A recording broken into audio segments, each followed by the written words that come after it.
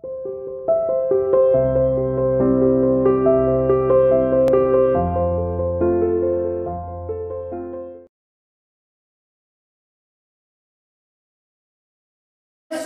welcome to you CR International School online classes. Students, how are you? I hope that everyone is fine at your home. Now let us we are going to start our chapter continuously. लोकतंत्र के परिणाम political science का lesson seven देखिए, कल हमने पढ़ा था कि लोकतंत्र के परिणाम, कल हमने इस लेसन को स्टार्ट कर दिया था कि लोकतंत्र में किस तरह के परिणामों की अपेक्षा की जाती है। आज का हमारा टॉपिक है कि लोकतंत्र के परिणाम होते क्या है, कहते कि नहीं है। देखिए, लोकतंत्र, शासन चलाने का केवल मात्र एक स्वरूप है। ये व्यवस्था होती है, कहीं तानाशाही, कहीं सैन्य प्रशासन, कहीं आपकी लोकतांत्रिक व्यवस्था ये केवल इस तरह से लोकतांत्रिक शासन को चलाने का एक मात्र एक ढंग है, तरीका है, स्वरूप है। यह कुछ चीज़ों को हासिल करने के लिए स्थितियों को पैदा कर सकता है, लेकिन नागरिकों को खुद मेहनत करके उस लाभ को अर्जित करना पड़ता है। अपने लक्ष्यों को हासिल करने के लिए उन्हें खुद हाथ पैर मारने पड़ते हैं। इस तरह से हम लोकतंत्र के परिणामों में कुछ चीज़ों को लेते हैं। एग्ज़ाम्पल के लिए कि सबसे पहला परिणाम कि लोकतंत्र लोगों की जरूरतों के ऊपर खड़ा उतरे। सबसे पहला परिणाम ये है। तो लोग की जरूरतें क्या है? लोग क्या चाहते हैं? और किस ढंग से चाहते हैं? इसके लिए तो लोगों को खुद मैदान में उतरना पड़ेगा। उन्हें अपनी मांगे सरकार तक पहुंचानी पड़ेगी, राजनीतिक दलों तक पहुंचानी पड़ेगी। और फिर जब उनकी जरूरतें पूरी नहीं होती है तो किस तरह से अपनी उपेक्षा रख सकते हैं? दूसरा, वैधानिक है। लोकतांत्रिक जो व्यवस्था है, वो संविधान के अनुसार काम करती है वैध है। वैधानिक तरीके से काम करती है, सारे निर्णय इसमें जितने भी हैं, वो सभी सरकार के द्वारा लिए जाते हैं, किसी एक नेता के द्वारा नहीं, किसी कोई एक संस्था इसे लागू नहीं कर सकती। अपनी मर्ज़ी से कोई निर्णय लागू नहीं होता, सभी संविधान के अनुसार चलते हैं। तीसरा जो परिणाम है, परिणाम का मतलब है गुण विशेषता, लोकतंत्र के परिणाम का मतलब है जहाँ पर भी लोकतांत्रिक व्यवस्थाएँ स्थापित हुई है तो उनके रिजल्ट्स क्या है? क्या वो अच्छे हैं या नहीं? तो तीसरा जो इसका निकलता है, यह विचार विमर्श पर आधारित है। देखो, फैसले लेने में देरी बेशक हो सकती है, क्योंकि संविधान के अनुसार फैसला लेना पूरी लोकसभा और राज्यसभा की बैठकें होती है, उसके बाद किसी भी फैसले को मान्यता मिलती है, उसके बाद वो बजट पेश किया जाता है, फिर वो स्वीकृत किया होता है, फिर वो जनता के सामने रखा जाता है। तो इस तरह की प्लानिंग में विचार विमर्श में काफ़ी लोगों का समूह होता है। तो कोई एक बात रखता है, कोई दूसरा, दूसरी रखता है तो इस तरह से उसमें बहुत टाइम लगता है। विचार विमर्श पर आधारित और समझौतों पर, कई जगह पर। सरकार को समझौते करने पड़ते हैं, कई जगह पर लोगों को समझौते करने पड़ते हैं। तो लोकतंत्र में हम ये ना सोचे कि लोकतांत्रिक व्यवस्था में हमें सब कुछ अच्छा ही अच्छा प्राप्त होगा। उसके लिए कई जगह पे हमें समझौतों की भी गुंजाइश रखनी पड़ती है। असमानता के हटाने के लिए लोकतंत्र में काफ़ी प्रयास किए जा रहे हैं गरीबी को समाप्त करने के लिए, लेकिन पूरी तरह से आज तक गरीबी और असमानता को समाप्त करने में भारत काफ़ी पीछे रहा है। क्यों? क्योंकि यहाँ पर जनसंख्या काफ़ी ज़्यादा है लोगों के पास। रोज़गार के जो अवसर है, वो बहुत कम है और यहाँ पर जो शिक्षा की प्रणाली है, वो थोड़ी सी अलग हटकर है। तकनीकी रूप से अगर विद्यार्थियों को शिक्षा दी जाए उनको व्यवसायिक रूप की शिक्षा दी जाए तो लोगों को रोज़गार के अधिक अवसर प्राप्त होंगे। लेकिन लोग आप जैसे स्टूडेंट्स हैं विशेषकर प्लस टू के बाद प्लस टू में आने के बाद ये अपने एजुकेशन पर फोकस करते हैं। उससे पहले लापरवाही करते हैं। तो बेस कमज़ोर हो, होने के बाद वो किसी भी फ़ील्ड में कामयाब नहीं हो पाते हैं। भ्रष्टाचार को हटाना सबसे बड़ा मकसद है। रिज़ल्ट लोकतंत्र रखा है। तो कुछ मुद्दों को लेकर रखा है। कि भ्रष्टाचार को हटाया जाए, लेकिन भ्रष्टाचार को हटाने में आज भी हमारी सरकार कामयाब नहीं हो पाई है। आप देखते हो भ्रष्टाचार के लिए जगह जगह पर इसकी वो भी की जाती है कि भ्रष्टाचार में जो रिश्वत देता मिलेगा, कोई किसी के साथ ज़बरदस्ती करता है घूस लेता मिलता है तो उसको दंडित किया जाएगा। लेकिन कर भी रही है सरकार, लेकिन एक अकेले सरकार से या एक आम आदमी से या किसी नेता के प्रयास से ये संभव नहीं है। पूरे देश को एकजुट होकर काम करना पड़ेगा इसके लिए। बहुसंख्यक लोगों का समर्थन करना।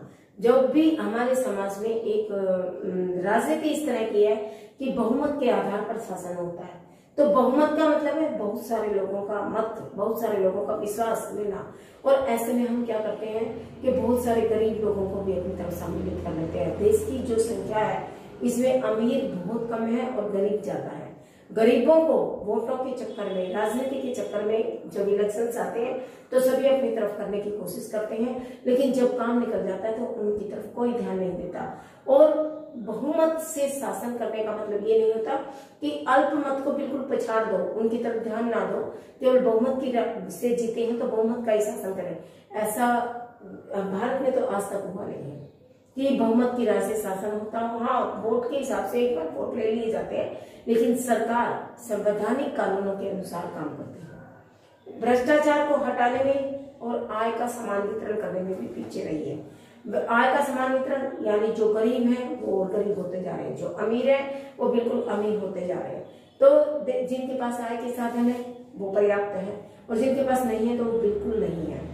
तो इस तरह से भी हालाँकि सरकार ने बहुत सारे रोज़गार के अवसर प्राप्त करवाए हैं। बहुत सारी गाँव में भी योजनाएँ चलाई हैं, ऋण सुविधाएँ भी मुहैया करा रही है, लेकिन फिर भी इस आर्थिक असमानता को कम नहीं कर पाई है। तो लोकतंत्र में आर्थिक असमानता किस तरह से उत्पन्न होती है? नेक्स्ट टॉपिक आपका, कि लोकतंत्र में आर्थिक असमानताओं का उत्पन्न होना सबसे बड़ा कारण है कि हम ये कहते हैं कि लोकतंत्र राजनीतिक क्षमता पर आधारित है। राजनीतिक क्षमता का मतलब है, अठारह से ऊपर का कोई भी व्यक्ति भारत का निवासी है तो वो वोट देने में समान है। चाहे वो स्त्री है, पुरुष है, किसी जाति का है, किसी भी धर्म का है, किसी भी रंग भेद का, कोई अंतर लिंग भेद किसी का कोई अंतर नहीं मानते हुए उसे वोट डालने की अनुमति है। तो ये एक तरह से राज्य में समानता मिली है। उसकी आर्थिक समानता नहीं है। आर्थिक समानता होती है पैसे से। कि भाई हाँ सभी को बराबर कर दिया। सभी के घर में चार आदमी है तो दो की नौकरी लग, गई दो की नहीं लगी। आप देखोगे किसी किसी घर में चार चार व्यक्तियों की नौकरी और किसी घर में एक व्यक्ति की भी नहीं है। किसी किसी को आय के इतने साधन है उनको सभी सुविधाएँ प्राप्त है। किसी को रोज खाने की भी लाने हैं तो ये क्या आर्थिक असमानता है। जो आर्थिक असमानताएँ निरंतर बढ़ती ही जाती हैं। क्यों बढ़ रही है? क्योंकि जिनके पास पैसा है पैसे के पास पैसा खिसकता है। जिसके पास पैसा है वो संपूर्ण है। वो और व्यवसाय कर सकते हैं, अपने काम को बढ़ा सकते हैं, लेकिन जिनके पास नहीं है, वो डिपेंड है दूसरों पर। मुट्ठी भर धनी लोग जो होते हैं, एक क्वेश्चन भी बनकर आएगा कि मुट्ठी भर धनी लोग कुबेर के खजाने से संबंधित माने जाते हैं। बाकी लोग गरीब क्यों हैं? तो जो पूरे देश में कुछ ही लोग अमीर हैं। जो अमीर हैं, उनकी आय भी ज़्यादा है, उनके संख्या भी आय और संपत्ति में वो अनुपात में ज़्यादा है। उनकी जो आय है, संपत्ति है, जायदाद है धन दौलत है, वो गरीबों से ज़्यादा मिली है। और वो परंपरागत चलती चली जाती है। बाद में उनके बच्चों के पास आ जाती है। बाद इस तरह से मतलब सुविधाएँ हैं तो पैसा खर्च सकता है। बच्चों के एजुकेशन पे, बच्चों के व्यवसाय पे, रोज़गार दिलाने में, फैक्ट्री स्थापित करने में, उद्योग स्थापित करने में वो एक ट्रस्टी बन सकता है। तो उसके बच्चे भी उस काम में संलिप्त तो हो सकते हैं। लेकिन गरीब आदमी जिसको बेचारे को दो वक्त की रोटी जुटा पाना मुश्किल होता है तो वो कहाँ से अपने बच्चों को पढ़ाएगा? तो इस तरह से हम ये कह सकते हैं कि लोकतंत्र में आर्थिक असमानताएँ अभी भी व्याप्त है। कैसे? देखिए, ये तो मैंने लोकतंत्र के परिणाम क्या होते हैं इसके बारे में बताया। फिर लोकतंत्र में क्या क्या चीज़ें हैं जिनमें अभी लोकतंत्र पिछड़ा हुआ है? भ्रष्टाचार है क्यों बनाया है लोकतंत्र? व्यवस्था क्यों की गई थी सो भ्रष्टाचार को हटाने के लिए, आर्थिक समानता लाने के लिए वैज्ञानिक रूप से पूरे देश में चलाने के लिए, लेकिन कामयाब नहीं हो पाई। क्यों? उसके रीजन है। देखिए जब ये जो धनी लोग हैं, उनका हिस्सा आय में भी ज़्यादा तो संपत्ति में भी ज़्यादा। इतना ही नहीं, जो अमीर लोग हैं, उनकी जो आय का हिस्सा है, संपत्ति का ज़्यादा हिस्सा है, उसके साथ साथ देश की जो राष्ट्रीय आय होती है, उसमें भी उनकी बढ़ोतरी होती है। जबकि समाज का जो निचला वर्ग है, गरीब लोग हैं, उनको जीवन बिताने के लिए भी साधन नहीं मिल पाते हैं। उन्हें दो जून की रोटी के लिए भी, दूसरों के लिए पीछे पड़ना पड़ता है, हाथ पैर मारने पड़ते हैं। बहुत मुश्किल से वो अपने जो दिनचर्या है दैनिक जीवनचर्या, जिसमें भोजन चाहिए, कपड़ा चाहिए, निवास चाहिए, शिक्षा, मकान, इलाज जैसी सुविधाओं के लिए भी वो दूसरों पर डिपेंड होते हैं। तो ये जो आर्थिक असमानता है, ये देश की सरकार की एक सबसे बड़ी समस्या है। और लोकतंत्र बनने के बाद भी लोकतंत्र के परिणामों में एक कमी के रूप में उभर कर सामने आती है। कि लोकतंत्र के अच्छे परिणाम तो हैं, जितने अच्छे हैं, उससे ज़्यादा बुरे भी हैं। कि लोकतांत्रिक व्यवस्था में विचार विमर्श के बाद निर्णय होते हैं तो समय ज़्यादा लगता है, देर ज़्यादा लगती है। इसी तरह से हम कह सकते हैं, आर्थिक असमानता को कम करने में पीछे रहा आज हमारे देश को आज़ादी मिली सात पैंसठ साल, सत्तर साल हो चुके हैं, लेकिन आप ये देखिए कि पिछले समय के मुकाबले आज गरीबी ज़्यादा है। आज गरीबी में ज़्यादा बढ़ोतरी हो रही है। लोगों का जो आय का स्तर है, वो पिछड़ता जा रहा है। गरीब मतदाता, ज़्यादा संख्या में और कोई भी उनके वोटों को नहीं छोड़ना चाहता क्योंकि जो गरीब हैं, फुटपाथ पर रहते हैं, झोपड़ियों में रहते हैं, संख्या ज़्यादा है उनकी। उन लोगों की संख्या के कारण जब हमारे देश में शासन प्रणाली ऐसी है कि बहुमत के आधार पर शासन हो। जब बहुमत, यानी वोटर कोई संख्या ज़्यादा हो, वोटों की संख्या हमें कहाँ से प्राप्त होती है? गरीबों से। तो क्या होता है? चुनाव जब आने वाले होते हैं, उस समय इनकी तरफ़ ध्यान दिया जाता है। महीने दो महीने इनकी प्रलोभन देकर इनको कुछ कर दिया जाता है, लेकिन उसके बाद कभी इनकी तरफ़ जाकर ना तो सरकार के कोई नेता देखते हैं, ना कोई सरकारी कर्मचारी इनकी तरफ़ जाते हैं तो ये पिछड़े ही रह जाते हैं। अगर इस चीज़ को हटाना है तो इसके अंदर गहराई से जाना पड़ेगा। गरीबों को रोज़गार दिलाने पड़ेंगे। हालाँकि सरकार प्रयासरत है, मनरेगा जैसी, नरेगा जैसी, और ये ग्रामोद्योग योजना, जवाहरलाल नेहरू योजना जैसी अनेकों प्रधानमंत्री रोज़गार योजना गारंटी अधिनियम काफ़ी योजनाएँ चलाई हैं। लेकिन उसके बावजूद भी अगर हम अपने देश की आबादी को देखते हैं तो ये योजनाएँ उतनी ज़्यादा कामयाब नहीं हो पाई है। उसके बाद काम तीसरा जो पॉइंट आता है कि लोकतंत्र में किस तरह से अच्छे रिजल्ट्स निकल कर नहीं आए? लोकतंत्र की कमियाँ क्या आई मेन तो चुनाव जीतने के लिए लोकतंत्र में धन का प्रयोग होता है। पहले राजा महाराजा थे तो उनको जीतने की कोई ज़रूरत नहीं थी। उनके वंशानुगत चलते थे। या भाई वोट डरते नहीं थे। राजा के बाद उसका पुत्र बना, उसके बाद उसका पुत्र बना। लेकिन यहाँ जब वोटों की राजनीति है तो चुनाव जीतने के लिए जो नेता लोग होते हैं, प्रत्याशी उम्मीदवार होता है, हर कंडे को अपनाता है। पैसा भी खर्च कर देगा, धन भी लगाने के बाद लाठी का प्रयोग भी करेगा, शक्ति बल का प्रयोग भी करेगा। हर तरह से वो जो उसका मकसद क्या होता है कि चुनाव को जीते, चाहे उसके लिए कुछ भी करना पड़े। क्योंकि तो राजनीति ही इस तरह की है। तो चुनाव जीतने के लिए धन के प्रयोग के साथ साथ वो कई गलत चीज़ों पर उतर जाता है। जिससे क्या होता है कि हमेशा जो चुनाव की प्रक्रिया है, वो निष्पक्ष और स्वतंत्र रूप से संपूर्ण नहीं हो पाती। जिस व्यक्ति को जीतना चाहिए, जिसको लोग जिताना चाहते हैं, वो रह जाता है और कई बार अनायास ऐसा व्यक्ति सीट पर बैठ जाता है, जिसको पाँच साल से पहले हटाया भी नहीं जा सकता है और उसे छीलना पड़ता है। तो इस तरह से लोकतंत्र में भ्रष्टाचार ज़्यादा है, जिसमें धन का प्रयोग। दूसरा, भ्रष्टाचार के कारण अंतरराष्ट्रीय पहचान में कमी हुई है। देखो, जो राजनेता है, अपने ही परिवार के वंशवाद में, के तरीके से भाई भतीजावाद फैलाकर अपने ही सी लोगों को गद्दी पर बैठाते हैं। है, ऊपर निचले स्तर के लोगों को ऊपर तक आने ही नहीं देते ना उनका कोई रिकॉर्ड होता है, ना अटेंडेंस होती है राजनीतिक दलों में ये चीज़ें। उसके बाद नेता लोग पार्टी को भी बदल देते हैं, अपने मकसद के लिए। एक पार्टी में शामिल हो गए, जब तक अपना स्वार्थ सिद्ध हुआ, वहाँ जब लगा कि मेरी आने चल रही दूसरे दल में शामिल हो जाते हैं। तो इस तरह से भ्रष्टाचार है एक राजनेता कई बार क्या होता है कि भ्रष्टाचार हम कहते किसको है? कि ज़बरदस्ती किसी से घूस लेकर काम करवाना ज़बरदस्ती उसकी बिना मर्ज़ी के कोई ऐसा काम करता है जो उसको पसंद नहीं है। किसी से रिश्वत लेना या आप भाई निचले अहदे वाला आदमी, ईमानदार और उतनी सीट पर आना चाहता है, किसी कमे में दिखाना चाहता है तो उसको दबाना।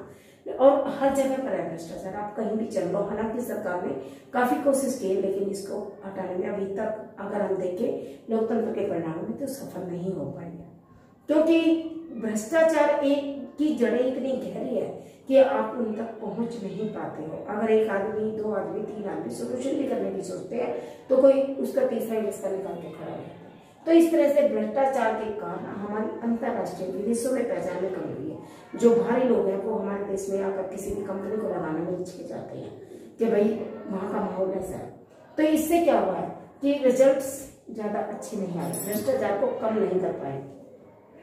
और इसी तरह से हम ये कह सकते हैं कि लोकतंत्र के वे परिणाम जहाँ पर भ्रष्टाचार जहाँ पर लोकतंत्र को असफल माना गया कि जिन उम्मीदों के लिए लोकतांत्रिक व्यवस्था को लाया गया था, वो उन उम्मीदों पर खरा नहीं उतरा। तो वो कौन कौन सी चीज़ें हैं? एक तो भ्रष्टाचार को दूर नहीं कर पाया। लाख कोशिशों के बाद सरकार के ने सारे मतलब जो भी सरकारी कर्मचारी थे, उन पर भी सिकंजा कसा काम को ऑनेस्टली करवाने की कोशिश की, लेकिन भ्रष्टाचार की जड़ें काफ़ी गहराई तक है और वो वहाँ तक सफल नहीं हो पाए हैं। लोगों की आवश्यकताओं की ओर कम ध्यान दिया गया। लोगों की जरूरतों पर जब इलेक्शन होते हैं, उस समय ध्यान दिया जाता है। उसके बाद लोगों की नीड्स क्या है? वो क्या चाहते हैं? कहाँ पर किस चीज़ की कमी है? किस तरह से उन्हें संतुष्ट किया जाए? इस सरकार का ध्यान इस तरफ़ नहीं गया सरकार, और जो चीज़ें हैं, चुनाव की आसपास तो देती है ध्यान, लेकिन फिर उसके बाद कोई नेता जाकर भटकता नहीं। अगर कंटिन्यूसली ये चीज़ें चलती रहती तो ये चीज़ें कम भी होने में आती लोगों की आवश्यकता की ओर कम ध्यान देना, उसके बाद आर्थिक समृद्धि और विकास में पीछे। आर्थिक समृद्धि यानी विकास के उन्हें ज़्यादा अवसर नहीं मिले। पता है रोज़गार के धंधे कम है। लोग नौकरियाँ पाने के इच्छुक है पढ़ लिख कर अच्छी अच्छी डिग्रियाँ लेकर घरों पर बैठे हैं। लेकिन ना तो उन्हें कोई व्यवसाय मिलता है, ना किसी फैक्ट्री में वो काम कर पाते हैं। सरकारी नौकरियों में कंपटीशन इतने ज़्यादा कर दिए गए हैं कि बच्चे एक जगह से निकलते हैं तो दूसरी जगह पर रुक जाते हैं। और जो हमारे देश की प्रणाली है कि दलितों को ऊपर उठाना, उसकी वजह से उनका आरक्षण इतना ज़्यादा है कि जनरल जो कास्ट के बच्चे हैं, वो पढ़ लिख कर भी इंटेलिजेंट होकर भी अपनी जो महत्वाकांक्षा है, उनको पूरा नहीं कर पाते। किसी समय था, ये अंतर, किसी समय जातिगत अंतर था। भेदभाव था। लेकिन आज आज तो उस अंतर के कारण बहुत से और अन्य अंतर पैदा हुए हैं। तो सरकार का ध्यान इस तरफ़ जाना चाहिए, लेकिन नहीं गया है। आर्थिक समृद्धि और विकास में कमी हो रही है। अधिकतर बच्चे बेरोजगार घूम रहे हैं। मन मर्ज़ी के, वो एजुकेशन करते हैं और उनको मन चाह व्यवसाय प्राप्त नहीं हो पाता। छोटी नौकरियाँ वो करना नहीं चाहते, इसलिए देश में बेरोजगारी बन रही है। पढ़ लिख कर भी, शिक्षित होकर भी उन्हें काम नहीं मिल रहा है। गाँव में, फ़सलों में कभी महामारी आ गई, कभी अकाल पड़ गया। तो कि इस तरह से जो आय का स्तर है, वो खत्म होता जा रहा है। बहुत ज़्यादा लोगों के पास काम धंधे नहीं है। बेशक सरकार प्रयासरत है, उनको रोज़गार दिलाने की कोशिश करती है, लेकिन स्थायी रोज़गार के अवसर कम उपलब्ध हो रहे हैं। बच्चों को ना ही उद्योग धंधों में काम मिलता है, ना ही फैक्ट्रियों में, ना ही किसी और व्यवसाय में। तो इस तरह से आर्थिक जो है वो समृद्धि उनकी नहीं हो रही आर्थिक विकास नहीं हो रहा। इसके लिए सर, सरकार को सोचना चाहिए। गरीबी में कमी और गरीबी के साथ साथ असमानता में कमी। गरीबी में कमी तब होगी जब सरकार हर घर से दो या तीन व्यक्तियों को रोज़गार दिलाने का कोशिश करे क्योंकि लोगों के पास काम करेंगे तो पैसा आएगा पैसा आएगा तो घर गृहस्थी चलेगी। जब वही साधन नहीं है तो सरकार चाहे कितनी भी प्लानिंग कर ले, और ना ही वो सक्सेस हो पाई है। लाभ देने की कोशिश करती है, राशन कार्ड बनवाए हैं जैसे पीले, गरीब व्यक्ति तक उसका लाभ मिले, या कोई और सुविधा देने की कोशिश करती है। तो उस व्यक्ति तक तो वो लाभ पहुँचता ही नहीं है, जिसको, जो उसका असली हकदार है। वो हिस्सा, या तो बीच के कोई कर्मचारी, या जो बीच के लोग हैं, उन तक वो खत्म हो जाता है। जिनको सुविधाएँ प्राप्त होती है, उन्हीं को वो लाभ मिलते हैं। तो इस तो वो किसी की अप्रोच लगा लेते हैं, या कुछ उनकी अपनी जानकारी होती है। तो जो आम आदमी है, जो बेचारा निचले स्तर का गरीब व्यक्ति है, वो तो जहाँ था वहीं खड़ा है। तो लोकतंत्र, हम कहें कि लोकतांत्रिक व्यवस्था बहुत ज़्यादा अच्छी है तो इसके रिज़ल्ट बहुत ज़्यादा बेहतर नहीं आए। ठीक है, नागरिकों की सम्मान में वृद्धि करती है, गरिमा को बढ़ाती है वैज्ञानिक है, वैद्य है, जिम्मेदार है, उत्तरदायी। लेकिन जितनी अच्छाइयाँ, उतनी ही इसमें कमियाँ भी है। तो आपका आज का ये टॉपिक था कि लोकतंत्र के परिणाम किसे कहते हैं? लोकतंत्र किस तरह से किन चीज़ों को पूरा करने में समर्थ हो पाया और कहाँ पर वो फेल हो पाया? तो आज के लिए इतना ही काफ़ी है। इससे अगले टॉपिक पर कल प्रकाश ओके थैंक यू